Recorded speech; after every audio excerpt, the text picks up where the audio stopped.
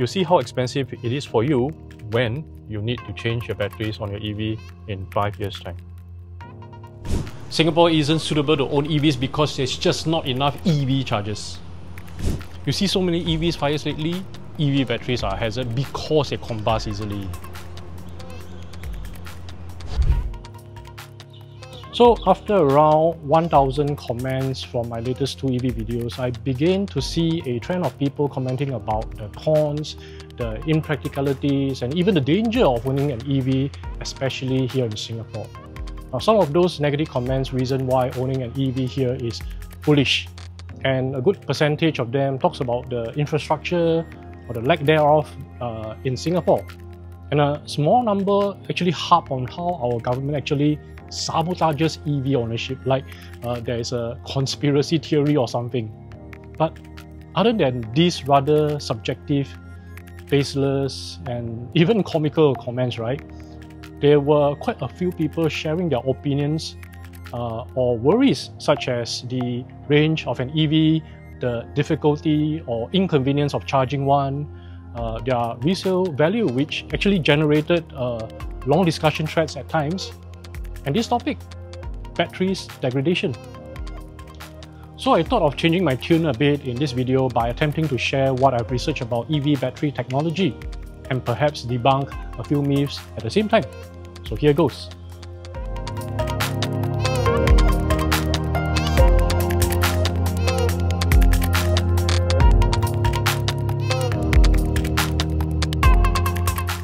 I'll attempt to touch on three of the most discussed about objections on EV batteries. But before that, allow me to qualify that I'm not here to change your mind if you're set on the idea that EV and whatever technologies behind one is a bad idea or stupid or even evil, like there's a worldwide conspiracy to get everyone to own one so that the government can raise electricity prices to make you pay more in the end.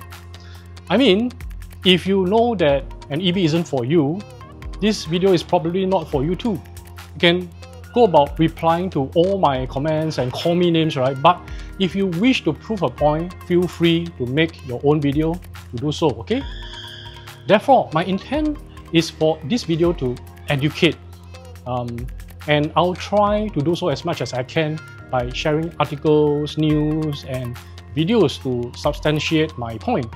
Again, I'm not here to convert you, and you don't have to impose your anti-EV sentiments on me. I just wish for those who are considering getting an EV to get a more educated view on EVs, specifically EV batteries.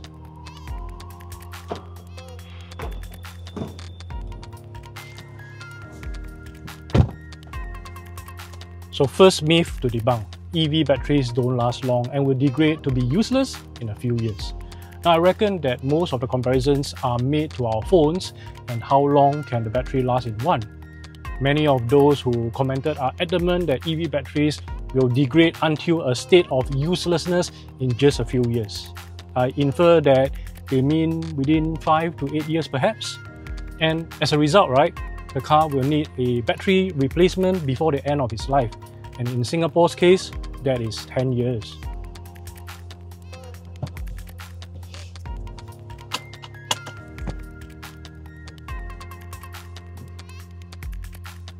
So firstly, the construct of lithium-ion batteries in phones aren't the same as the batteries in cars. Phone batteries are built to be as small as possible while having the highest capacity. And most phone manufacturers are not really concerned to make the battery last beyond 3 to 5 years, let alone 8 to 10 years. EV batteries on the other hand, right, can and must be larger. With warranties of 8 years or 150,000 kilometers often mandated by many countries on the EV dealerships, right? It will make zero economic sense for them to not ensure that the construct of their batteries lasts much longer. And there's also the thing about cycle life, or how many times the battery can be charged or discharged.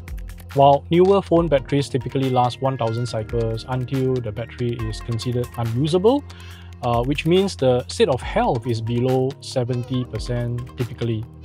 Modern EV batteries are rated for at least 3000 to 5000 cycles even. And then we need to think about the frequency of charges. That is, the number of times we charge in a given time. So for our phones, right, most of us charge every day, sometimes twice a day. But in an EV, most owners will charge a deep cycle, meaning from around 10% to 80% only once a week, perhaps twice a week. Others, like me, sometimes charge only once a fortnight. So to get to that 3000 cycles, it will take more than 10 years.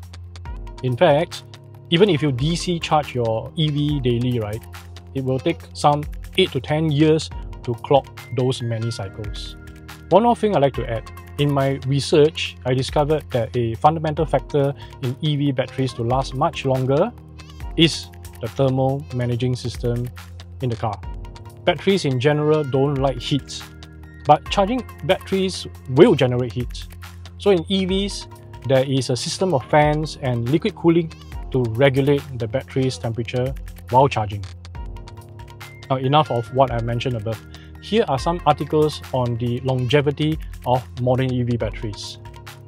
Like this one that claims on average EV batteries maintain 90% capacity after 100,000 kilometers and stabilize at around 87% between 200,000 to 300,000 kilometers. This analysis was made by testing over 7,000 EVs. Then there is this other article from Wired.com which is a much more popular source, which reports similar findings. And if you still need more backing, right, watch this video. 赶过来，现在还可以跑个三百公里路，这是第第第第第第五年了，对，这个还不错、哦。四年多，不到五年。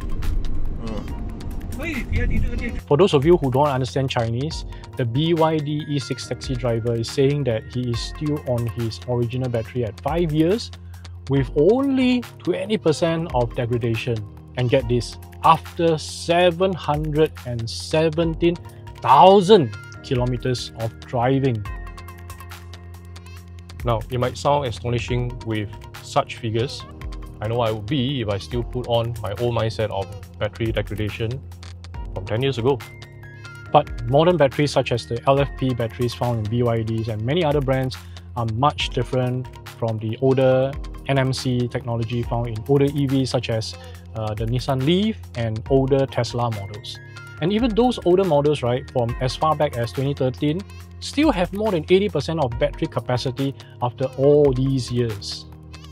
In any case, dealers here like Vantage Auto, Harmony Auto, and I believe all of the other EV dealers, they offer a warranty of 8 years or 160,000 kilometers for their batteries, with newer model getting something like 10 year warranty also. So So for me, right, this is peace of mind if my batteries fail or degrade uh, beyond a certain state of health within this time. Still not convinced? And you want even more proof? Well, try Googling for and reading the dozens of other research articles, or better yet, ask a real EV driver who's driven for a few years now instead of relying only on hearsay on forums or worse, trolls comments. If you don't already know, you'll probably be as surprised as I was with the advancement of battery technology.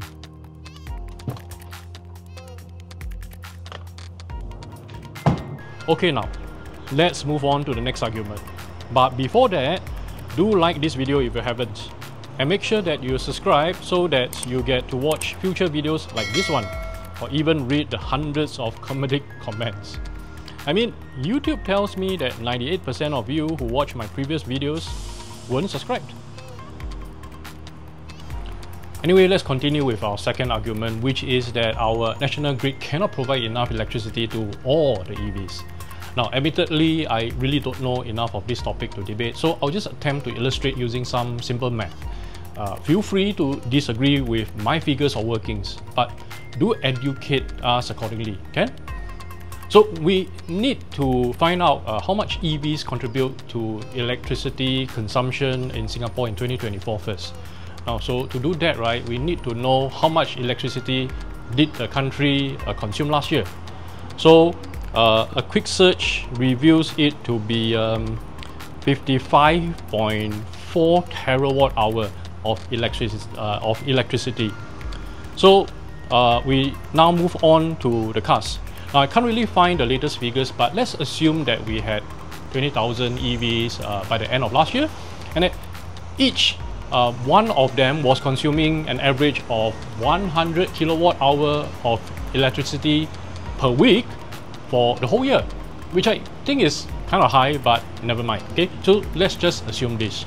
We will end up with uh, something like one 104 million kilowatt hour or 0.104 terawatt hour. So that's 0.18% of our national grid consumption. Now suppose we 10x the number of EVs to 200,000 to cater to the increase in adoption of EVs by 2030. And let's use the figures by EMA for a uh, national consumption growth of 3% yearly over the next few years. So we'll derive at uh, 55.4 times 1.03 times 1.03 times 1.03 times 1.03 times 1.03 and we'll have 64.2 terawatt hour. So at 10 times the number of EVs, right, assuming that every owner drives as much as today, which is unlikely uh, due to the fact that satellite uh, ERP will be implemented after our GE and future EV batteries remain similar in efficiency as today, which again should improve by then, well, it means that EVs will take up uh, 1.04 divided by 64.2 which is equal 1.6%. Now, I'm a layman, but this percentage, right, I don't really think that our grid won't be able to support our EVs on the road, right? Besides, with all the scholars uh, in our government sectors, right, I, I highly doubt that they won't see the potential problem of having not enough electricity, uh, electricity for all the EVs on the road. That a random YouTuber, through, I mean commenter, can see, right?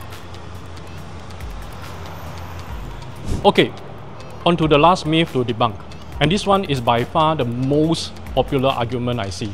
Not only in my comments, but also every other video or news articles. EV batteries are dangerous and prone to burning or exploding. And you've probably seen this. With every car fire video people watch on TikTok or Facebook, the most common question commenters will ask or even expertly state is that there has got to be an EV. Remember the unfortunate Porsche crash at Nicoll Highway that burst into flames? Yes, it must be an EV, say the people. Even with it being a Porsche, right, even with trails of petrol fire on the ground, they still claim that that is an EV. Or how about that Corolla that caught fire in Jurong West? Or the burning C-Class at Tampines? Or even those two cars on the PIE? It's quite comical to read in the comments that burning cars equal EVs. I mean, just take a look at the statistics provided by SCDF. Of the 220 vehicle fires in 2024, right, only one of them involved an EV. Now, the reason for such misconception is most likely hearsay, uh, a lack of education, or worse, a deep hatred for EVs to a state that people believe what they want to believe the LFP batteries in modern EVs, such as the Blade battery in uh, BYD, are so much safer than those in the past, arguably uh, even safer than petrol cars. This rather famous clip shows how, if a nail is punctured through an older NMC battery, will cause it to catch fire. While the same thing done on a Blade battery on the BYD, right, barely raises the temperature. And there's this other test of a truck driving over the battery pack. Now, admittedly, it is not the full weight of the truck considering how the battery is placed. But with the two rear wheels on it, right, I reckon it's still maybe something like 20% of the weight of the truck. Okay, okay. I think that's enough for this video. It's kind of long already, but still, I think it's more efficient for me to make a video like this one to debunk the myths on EV batteries and perhaps more effective too as opposed to replying to each and every comment. And worse, right, for them to refute me by uh, baseless counter arguments. My point is this it's okay to not agree with me. It's also totally fine that you think that EVs are the biggest scam and you will never touch one. I'm not forcing you to adopt an EV, and no one, not even the salesman in the EV dealership, can force you to buy one. But to keep disputing on proven facts and real life experiences without the ability to substantiate, well, I think this isn't the best idea. I recommend that you save your energy to be concerned with bigger life issues.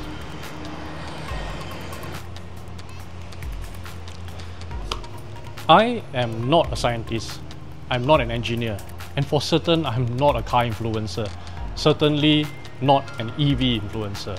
And I bet neither are most of my competitors. But what I am, different from many of them, is that I am an EV owner who have used, driven, and experienced an EV for months.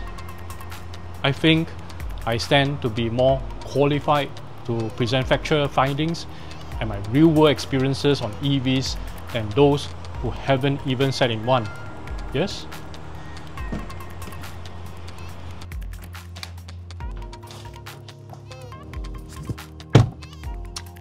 Okay, let's not turn this into a rant anymore.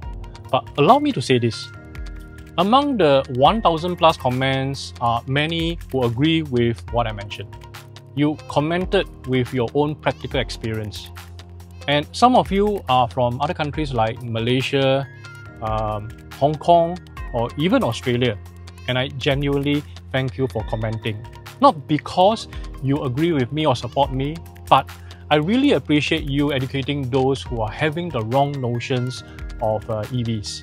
And of course, there are also those uh, of you who disagree on my points, but sensibly present your perspective. So to these people, right, I sincerely respect your opinions and beliefs, and I'll never say that you're wrong. But for those who kept trolling, right, well, actually, I also want to thank you too, because you'll be helping me with increased uh, engagement on my videos, and in turn, also getting those videos watched by many more other people. Okay, anyway, we'll see how this video does. And if this is a well received uh, enough video, right, I could be doing another myth busting video on another aspect of EV ownership, maybe on charging, uh, or even on the hottest debate, which is resale value. Let me know in the comments below, okay?